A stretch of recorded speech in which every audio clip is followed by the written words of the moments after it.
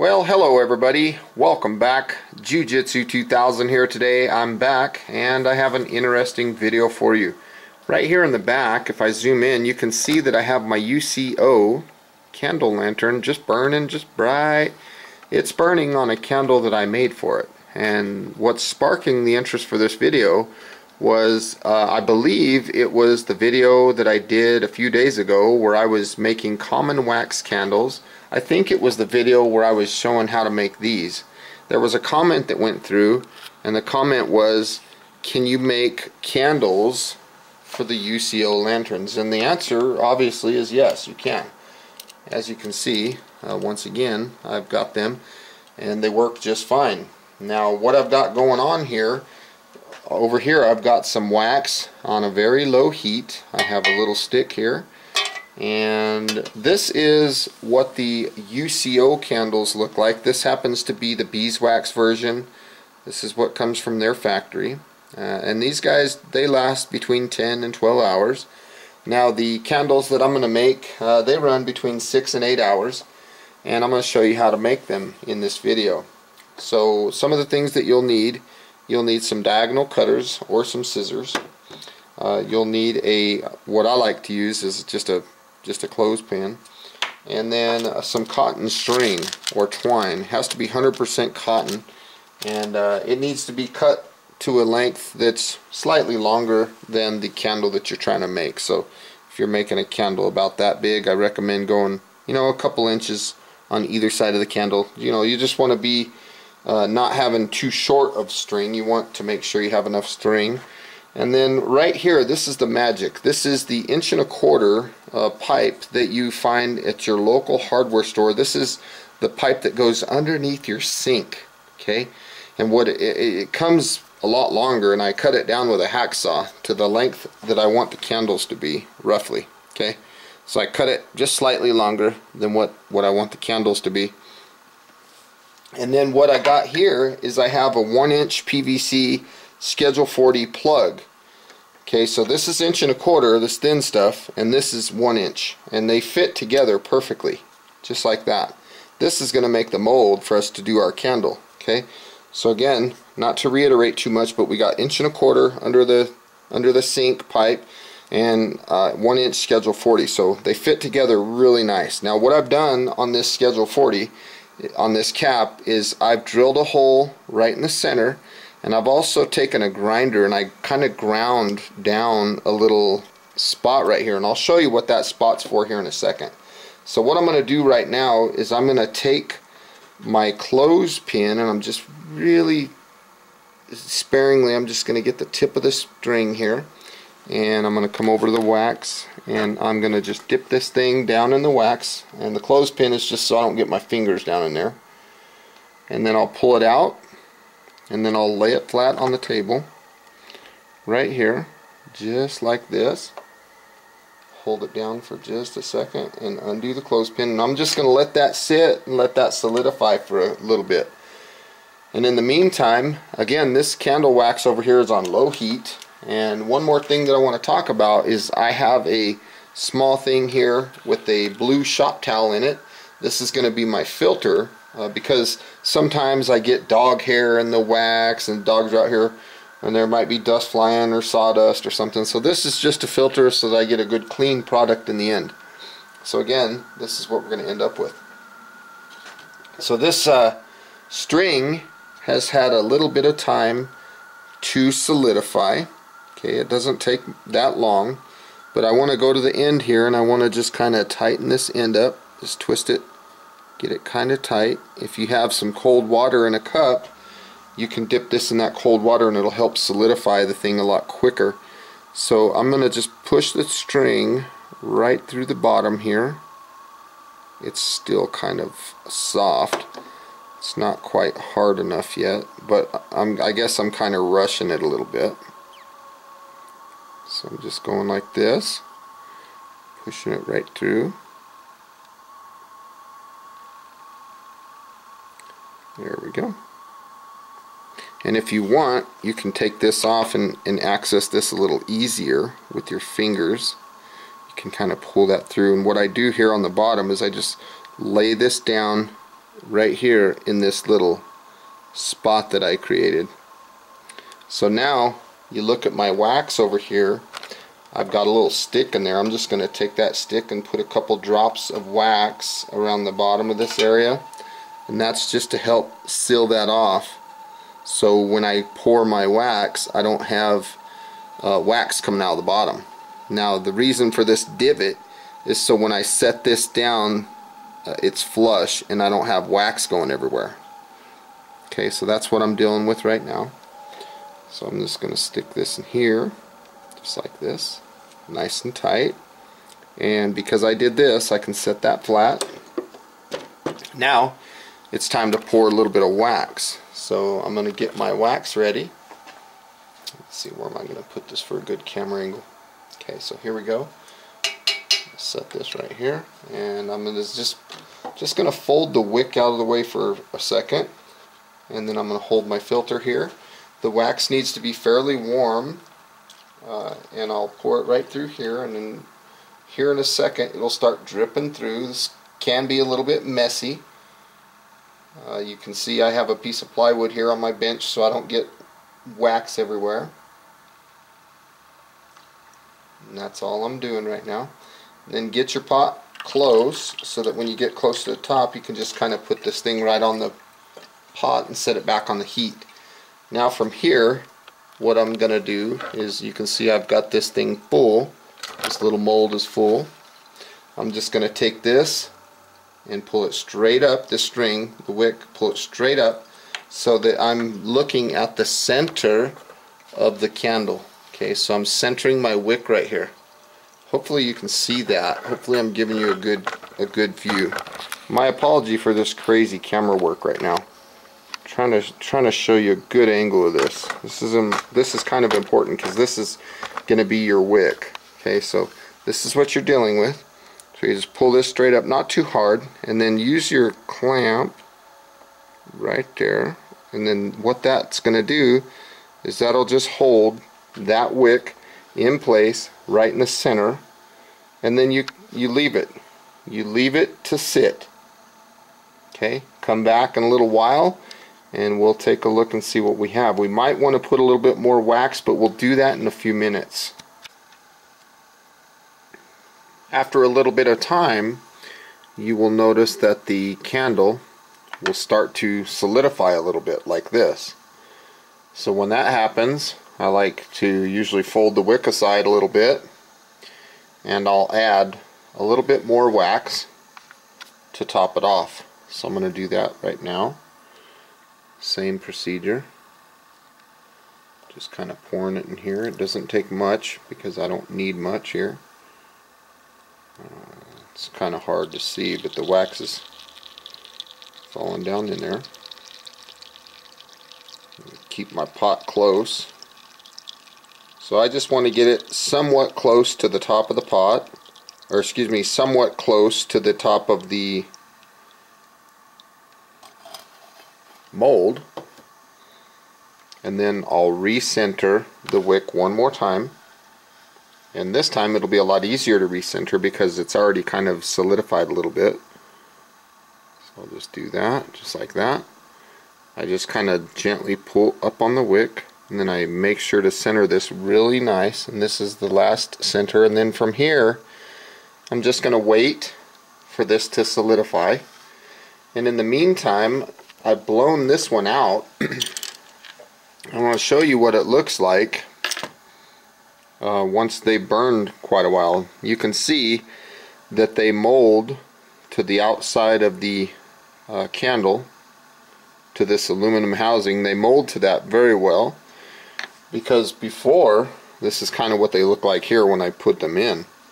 Now again if you compare this what we're making to the original the ones that we make are a little bit thinner in diameter, but they work very good. Okay, so that's what we're going to be uh, finishing up with. So we just pull this down, just kind of pop this. Sometimes you can push it with your thumb. And you'll notice that the top of the candle uh, conforms itself to the aluminum body as the heat from the candle heats up the aluminum, it mold it, it molds the candle to the top. Okay, so even though they they have a little bit of play, they still work very good.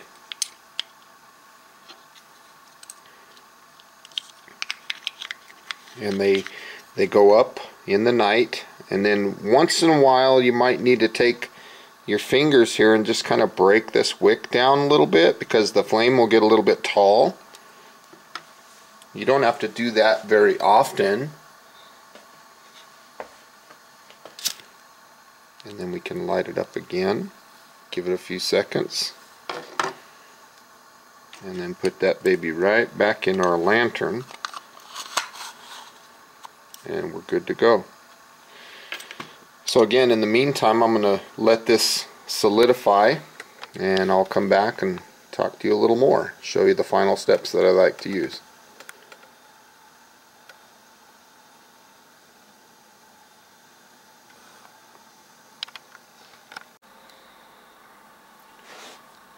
Once your candle has had a little time to sit and you notice that the top of the wax has solidified a little bit.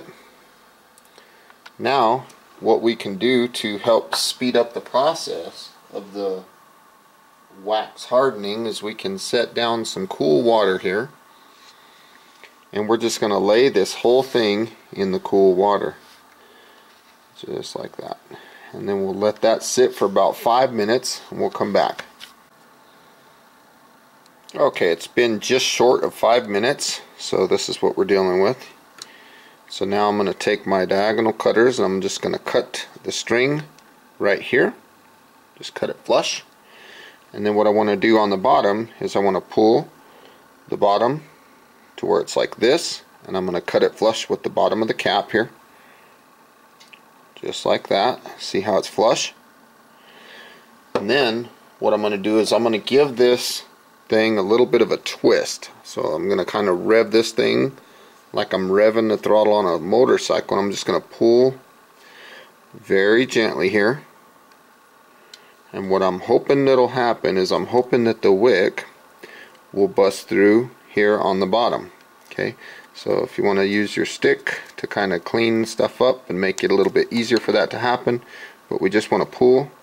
If you notice that the wick is starting to pull through the top, obviously we want to stop get a hold of the wick and then just pull it through because we want it to pull through this bottom part generally it works pretty good but I kind of rushed it today just for the video and the wax is still soft when the wax has had that five ten minutes you know to solidify this doesn't happen as much up here so this will pull right through no problem uh, but again, I did it a little short because of the video.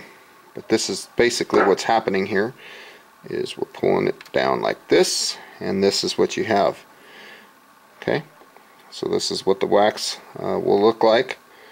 Uh, now, it's important to definitely let it sit in here for at least five, maybe ten minutes. Let it cool.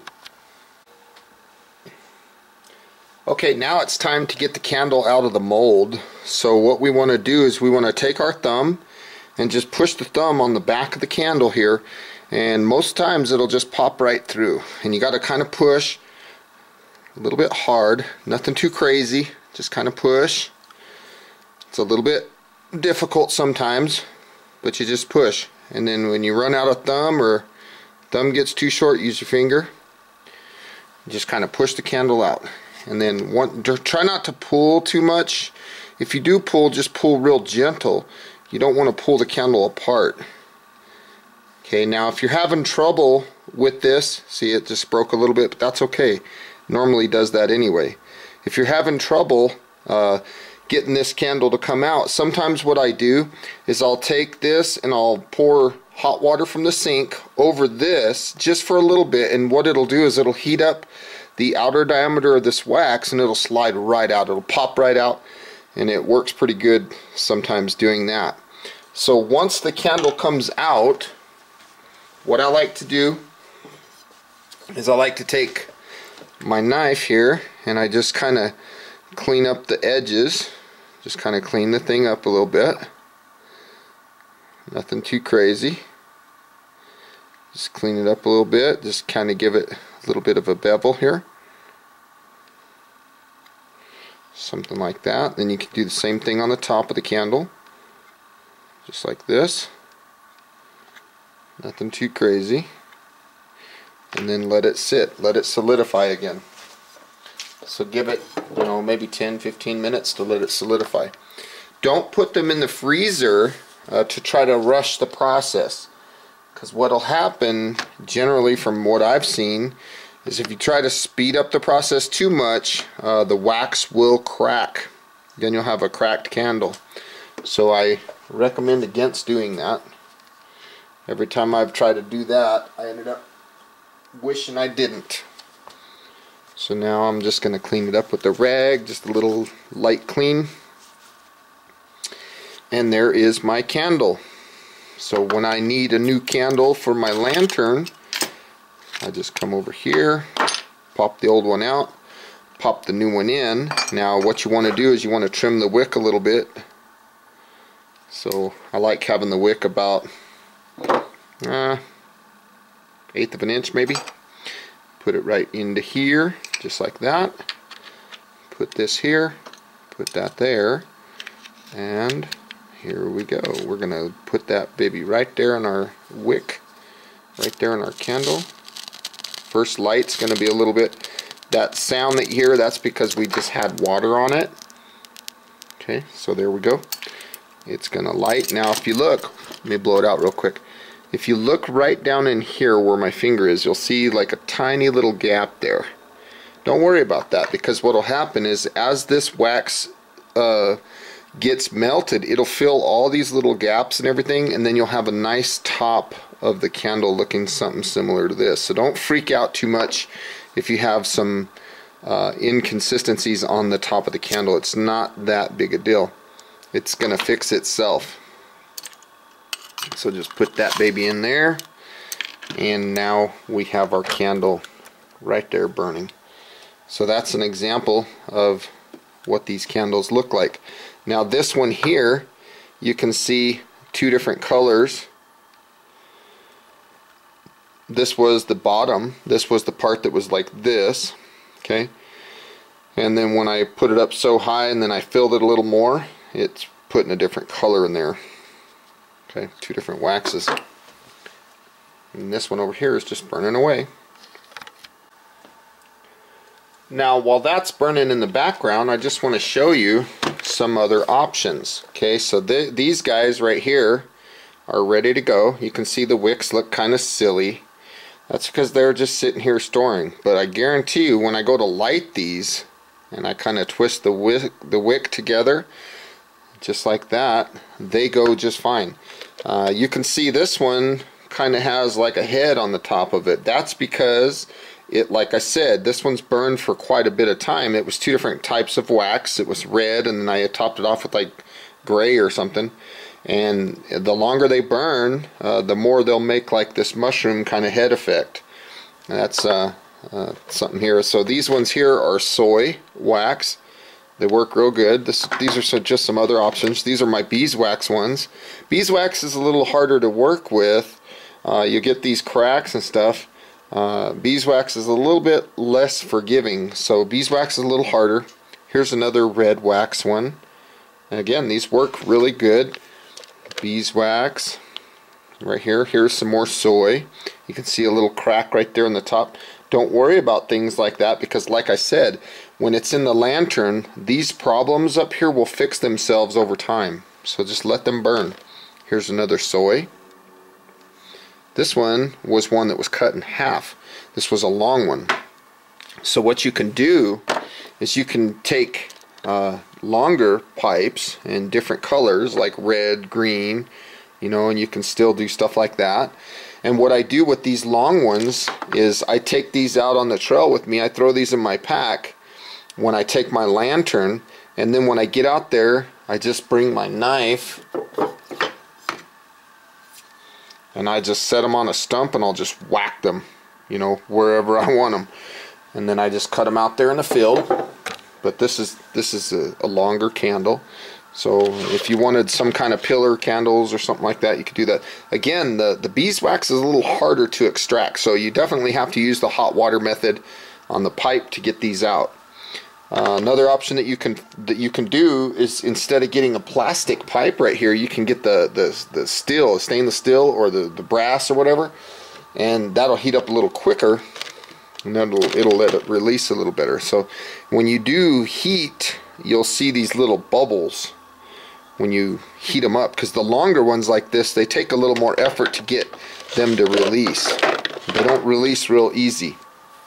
They take a little more work to get them out but you can see all the different colors and options. This this is a really pretty light blue color. Uh, here's a here's a red one. Just a little red one. Again don't worry about the top. It'll fix itself. Red ones. Uh, more beeswax ones. The beeswax ones I like a lot because they smell good, but they are harder to make. Uh, it's harder to get that wax to release. This, these are all beeswax. And uh, these common wax ones that I made, like in the video today, these burn really good and they release real good because the, the wax has a lot of oils in it. Then you got these green, like kind of a Christmas candle look. And then you have some white, little dog here and there, some white ones. And then uh, here's like kind of a red one with a little green on the top, little things like that. And uh, here's some blue, and then here's some kind of golf wax, clear trapper's wax kind of looking ones. These ones are cool because they put out a lot of light. They really do, and they have no scent to them at all. So these ones are pretty good, and they're good when it's really cold. You can hear that they're hard candles these little baby blue kind of turquoises color real pretty so that's just uh, a look at some of these candles that I make I hope this uh, video helped you out. Please feel free to leave some comments down below. Like this video share this video. And folks if you like the type of content that you see on my channel please subscribe. I'd love to have you and until next time thanks again for watching. Appreciate you stopping by. And uh, have a beautiful day. Now get out there and make yourself some candles for your UCO lanterns. They're good lanterns, they really are. So I'm going to add all these new ones uh, to this bucket. I just keep this bucket of them so whenever I go on a trip, I come over here and I grab a couple of them and then I take off. Now again, here's the original. This is the original. Looks a little bit, you know, the one I make is almost the same. My wicks are a little bit thicker than what they use. Uh, but and then if you want to compare the diameters of the uh, candles, you look at theirs and it's let's see what is that? Let's start about right there. They're about an inch and a quarter. Yeah, right around an inch and a quarter. And mine like an inch and an eighth so mine are about an eighth of an inch uh, thinner in diameter but they work just as good if not better and it's the same thing this one here was cut this was a long one that I cut. So here would be the wick that we would light. So anyway folks I want to say thank you for joining me today on this video on how to make UCO type candles for your lantern. I hope you got some good useful information out of this video. Please feel free to leave your comments down below, like this video, share this video, and if you like the type of content that you see on my channel, please subscribe. I'd love to have you. And until next time folks, thanks again for watching. Have a beautiful day. Let me show you one more example before I go. So you know we got these little bit longer ones like this and then look at this guy this guy's long when you make the long ones like this they're they're difficult to get out of the pipe and it's hard keeping that wick straight all the way through you have to set it down you got to pull up real hard against that wick and sometimes the wick will start slipping up but you can see right here the wick's gotten a little close to the surface right here so that'll be causing some problems later but nothing significant but that's what we got. Those are our UCO candles. Thanks for watching. Bye-bye now. They work great. Later.